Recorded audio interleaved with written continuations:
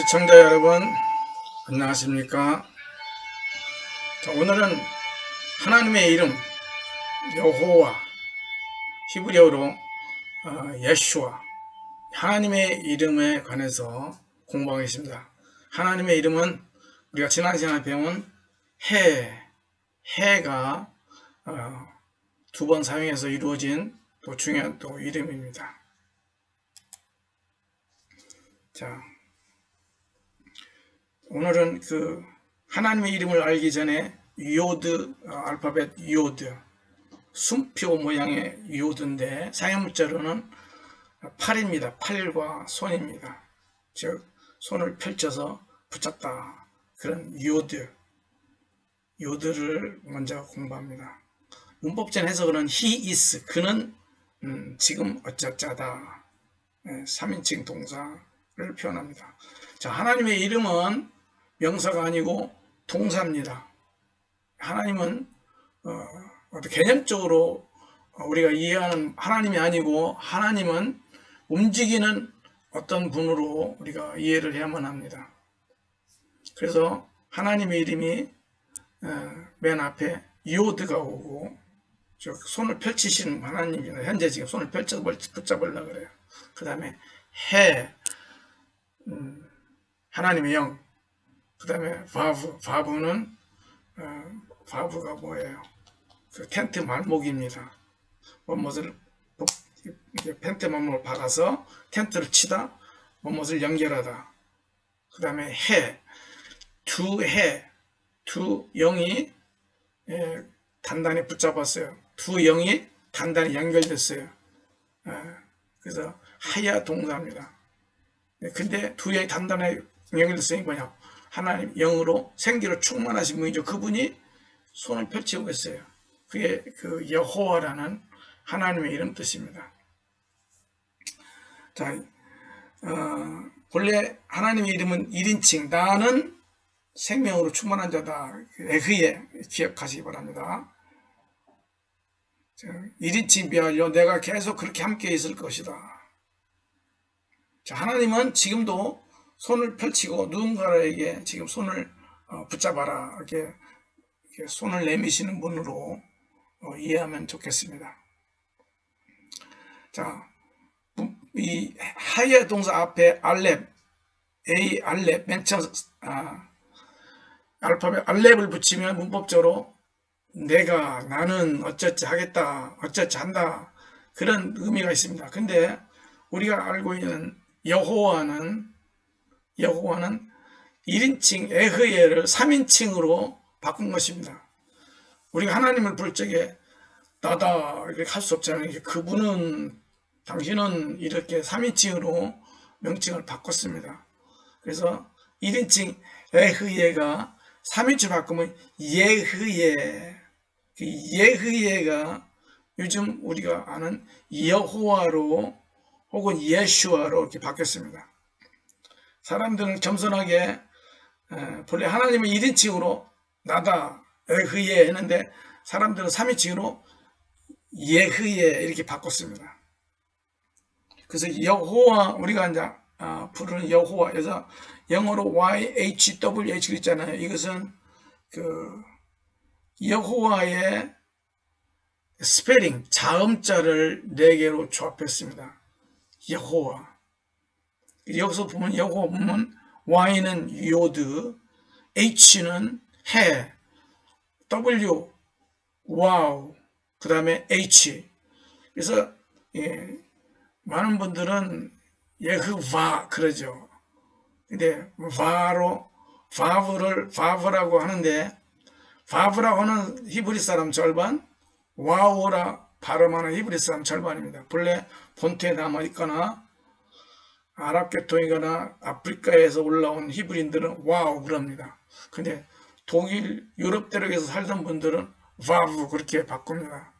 근데 그 아랍어에서도 아람어에서도 와우 그럽니다. 저도 고대 히브리어를 연구한 사람으로서 그냥 와우 와우 그렇게 발음하기로 했습니다. 저 와우 뜻은 음, 텐트 말목을 박다 혹은 연결하다 붙들어매다 현대 히브리어의 와브, 바브의 기능은 뭐뭣과 뭐뭣, and로, 뭐뭣과 and. 그 다음에 수학 기호로 표현하면 더하기, 보태기로 설명됩니다. 자, 그러나 우리 하나님께서 친히 당신 이름 소개할 때 뭐라 해서 1인칭으로 알레브 붙여서 에흐예, 영어로 I am. 이 히브리, 어, 그리스로 성경할 때는 에고 에이미, 에고 에이미, I am입니다. 그것을 우리가 기억하고 그 다음으로 넘어갑니다. 자, 다시 에그에 I am that I am. 나는 스스로 있는 자니라. 우리나라 성경으로. 그리스어로 에고 에이미. 자, 이 에고 에이미 I am은 신약 성경 요한복음을 읽다 보면은 에고 에이미가 발견됩니다. 자, 그리스 어, 유대 신학자 70명이 공동으로 번역을 했어요. 그리스어로 최초로 번역했어요. 이때 I am을 에그의 I am을 그리스어 에고 에이미 이렇게 번역을 했어요. 그래서 에고 에고는 나, 에이미는 M인데 뭐뭐이다. 이것도 어, 그리스어도 미완료태입니다. 저 미완료태는 현재 나는데 현재 있는데 과거에도 그랬던 것죠. 앞으로도 그럴 거다. 그런 의미가 있어요. 에이미. 자, 예수님께서 말하셨던 이름을 뜻을 한번 봅니다. 첫 번째, 물 위에 걷는 예수님. 제자들이 물 위에 걷는 예수님 보고 어 귀신이다 두려워했어요. 이때 예수님은 나다. 내니 우리의 말로 내니 나니 두려워 말라. 이때 히브리 아, 헬라어 번역으로 에고 에임입니다. 에고 에임이. 스스로 예수님도 에고 에임이 즉 에그에 이렇게 말씀하셨다는 것입니다. 두 번째 요한복음 8장 58절에 어, 예수께서 이렇게 말씀하십니다. 예수께서 가라사대 진실로 진실로 너에게 이르니 아브라함이 나기 전부터 내가 있느니라 이렇게 말씀하셨습니다. 내가 있느니라 이때 예, 그리스어로 에고 에임입니다. 예수님도 모세에 나타났다 하나님이 에그에 I am that I am 했는데 예수님도 I am that I am 이런 말씀하셨어요. 이것은 신비입니다. 예수님이 바로 여호와 하나님이라는 그런 뜻이 되겠습니다. 그 다음에 세 번째 요한복음 18장 6절에 예수께서 어, 부활하신 예수님께서 찾아온 사람들에게 그 여기 무덤에 누워있는 분 어디 갔는가 아십니까? 이렇게 물어보니까 예수님께서 뭐라 했냐면 내가 그니라 그렇게 말씀했어요. 이때도 에고 에이미 즉 에그에 나는 나다 그런 신명을 사용하셔서 내가 부활한 구세주다 이렇게 표현합니다. 그러니까 그들이 깜짝 놀라가지고서는 뒤로 물러가고 땅에 바짝 엎드립니다. 자 이런 말씀이 신약성경에도 쓰여 있습니다. 자 예수님께서도 에그에 즉 에임이 이런 하나님만 사용하여는 신명을 사용하여 당신을 속였다는 것입니다. 놀라운 일이죠. 자, 그래서 여호와는 예수님이다. 자, 여호와를 어, 좀 어, 시브리어로 표현하면 여호수아, 저 정확히 표현하면 어, 예슈아. 근데 예수님은 구약 시대 그 이전부터 계신 분이다. 자, 요한복음 8장 58절 다시 예수께서 가라사대 내가 진실로 진실로 내 이르니 아브라함이 나기 전부터 내가 있느니라. 제 이것은 그리스도의 선제설이라고 합니다. 예수님은 아브라함 이전부터 태초부터 계셨던 분이다. 선제설. 우리 기독교인들은 이걸 믿어야만 합니다. 자, 요한복음 10장 10절에 또 예수 이런 말씀했어요. 도둑이 오는 것은 사탄이 오는 것은 도둑질하고 죽이고 멸망치는 것뿐이요. 내가 내가 예수님이 온 것은 양으로 생명을 얻고 더 풍성히 얻게 하려는 것이라 이렇게 말씀하셨어요.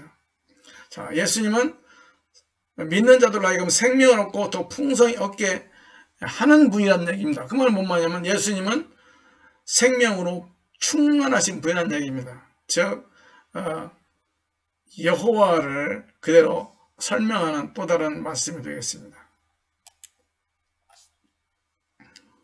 자, 성경에 또 H, 해를 사용한 중요한 단어가 있어요. 뭐뭐가 있어라. 하나님께서 빛이 있어라.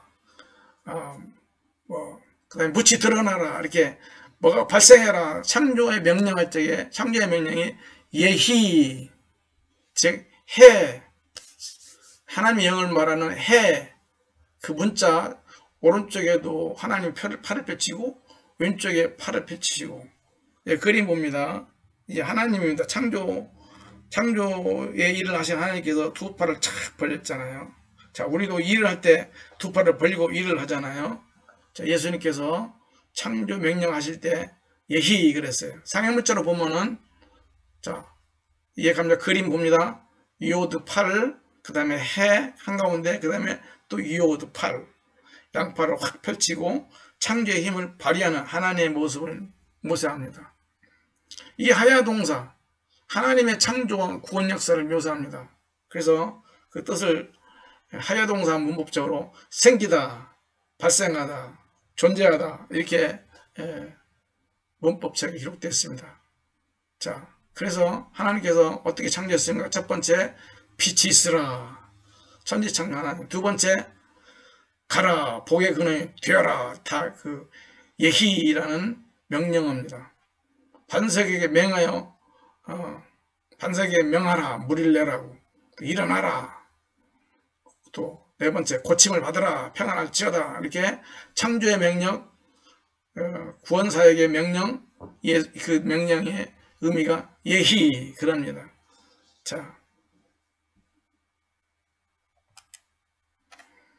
그 다음에 이제 음, 마지막으로 출애굽기. 하야 동사의 또 신비 출애굽기 3장 12절. 어, 하나님께서 여호와 하나님께서 모세에게 내가 정령 너와 함께 있으리라 이런 말씀하셨어요. 내가 정령 너와 함께 있으리라. 이때 하나님의 신명 에흐예 이렇게 얘기했어요. 내가 정령 너와 함께 있으리라. 에흐예 그래서 하나님 에그에 I am 그 말은 언약의 동반자와 모세와 아브라함과 야곱과 이삭의 하나님과 이삭과 하나님이 함께 하셨어요. 그 하나님이 이제 모세하고도 함께 한다는 거예요. 에흐에. 자, 우리가 위험한 상황에 처했을 때 하나님 나와 함께 하리라. 그 약속은 바로 나는 구원받으리라. 예, 그런 뜻이죠. 이 내가 너와 정녕 함께 있으리라. 이게, 이게 에흐의 이 신비입니다. 자, 하나님은 하나님의 이름은 바로 어, 그 이름대로 그렇게 역사하시는 이름대로 이렇게 역사하시고 함께 하시는 그 하나님을 소개하는 그 이름이 되겠습니다. 그 하야 동사의 네 번째 뜻이 사전에 보면 네 번째 뜻이 누구누구와 함께하다. 저 인간과 동행하기 원하시는 바로 그분입니다. 즉 요새 신학적 언어로 임마누엘의 하나님입니다. 그 다음에 다해동사의 다섯 번째 뜻은 뭐냐면 어, 됨됨이의 변화, 자, 질량의 변화, 인격의 변화를 주는 창조행입니다. 무엇을 무엇으로 바꾸다, 더 좋게 바꾸는 것이죠. 자, 구약시대에 마라의 쓴물을 어떻게 했어요? 단물로 바꿨죠? 또 예수님 어떻게 했어요? 물을 포도주로 바꾸셨죠? 자, 하나님께서 역사하실 때뭐 좋아집니다. 자, 우리는 하나님 말씀에 이렇게 변화의 예, 의미가 있다는 것을 믿어야만 합니다. 오늘도 하나님을 모시고 하나님 말씀대로 살고 그 하나님의 약속의 말씀을 입술로 외우면서 그 말씀대로 이루소서 기도할 때 그 역사가 일어납니다. 자, 민수기 6장 24절 26절에 축도 그 축도의 신비가 있습니다. 그 레이 지파 제사장들에게 이렇게 이렇게 내 백성에게 축도해라 그랬어요. 자 축도를 선포할 때 하나님의 창조의 능력이 역사하고 그 복이 임한다고 우리 믿어야 합니다. 그래서 축도 세 번 여호와의 이름을 세 번 반복합니다. 그리고 세 번 반복하면서 구체적으로 표현하는데 무슨 뜻이 있는가 보겠습니다. 첫 번째, 여호와는 내게 복을 주시고 지켜주시기를 기원하며 예. 하나님은 God bless you 이렇게. May 여호와 bless you 이제. 복을 주시고 복 주신다는 말은 뭔 뜻이냐? 구체적으로 protect 위험에서 지켜주는 것이다. 그런 뜻이 예, 표현되어 있습니다. 그 다음 두 번째 여호와는 그 얼굴로 내게 빛을 비추사 은혜 베푸시기를 기원하며 두 번째 얼굴로 내 빛을 비추사. 이 말은 뭐냐 하면은 영어 성경에는 smiling at you 그럽니다. 혹은 make his face toward you 어, 하나님께서 나를 미소 지으면서 빛을 비추사 미소 지으면서 바라보시고 은혜 베푸시기 have mercy on 은혜 베푸시기 뭐냐면 우리는 때때로 원치 않는 실수를 하죠. 작은 실수들을 하죠. 이때 또 깨닫고 아이고 내 잘못했어요. 그때 하나님은 또 자비의 빛 용서의 은혜를 주시는 분이라는 얘기입니다. 음, 요즘 그 예수님의 사랑과 즉 용서의 사랑과 뭐 이런 어, 기업 문화가 똑같죠. 그 다음에 마지막으로 한 번 더 축복을 합니다. 여호와는 그 얼굴을 내게로 향하사 이 영어 성경 turn his face toward you 얼굴을 내게로 확 돌려서 똑바로 바라보면서 평강 주시기를 원하노라. 이 샬롬 평강 주시기를 원하노라. 그래서 자 우리는 이런 복을 받습니다. 복을 받습니다. 보고의 복을 받습니다. 용서의 복을 받습니다. 평강을 받습니다. 평강은 인간관계에도 평강, 몸에 병 고치 받는 것도 평강, 빚을 갚는 것도 평강, 자 모든 전쟁이 없는 것도 평강, 화해하는 것도 평강, 자 이런 총체적인 의미의 복을 받기를 기원하고 우리는 아멘합니다. 그러면은 우리 삶 속에 그런 일이 일어나는 것이죠. 자 그래서 한마디로 샬롬 그럽니다. 그래서 이 하나님의 평강으로 또 충만하기 원하는 때는 샬롬을 두 번 반복해요. 샬롬, 샬롬. 자, 평안하시기 바랍니다. 다음 시간 또 만납니다. Later on, God bless you.